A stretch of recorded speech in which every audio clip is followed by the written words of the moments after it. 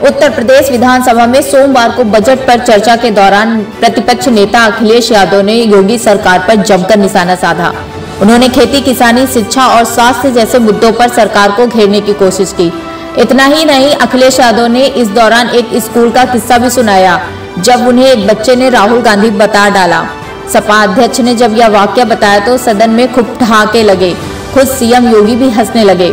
आपको बता दें कि अखिलेश यादव ने शिक्षा के इस स्तर के लिए अपनी गलती भी मानी और कहा, मैं प्राइमरी स्कूलों में हमेशा से जानता हूँ। मैं एक बार नहीं गया, जब मैं मुख्यमंत्री था तब भी गया।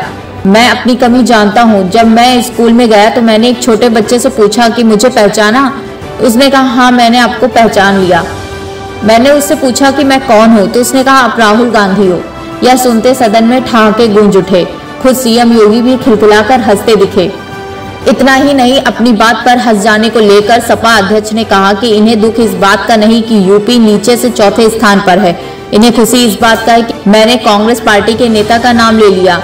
दुख इस बात का नहीं है कि इन्हें स्वास्थ्य के आंकड़ों में हम कहाँ खड़े हैं। आज स्कूलों में बच्चों की भारी कमी है। जो आप कहते थे कि दो करोड़ बच्चों को पढ़ाएँगे, आप उनको पढ़ा रहे हो जो सबसे गरीब है। जब संपन्न है, वह पढ़ने कहाँ चले गए? आप कहाँ से मुकाबला करोगे? Bureau report IPN.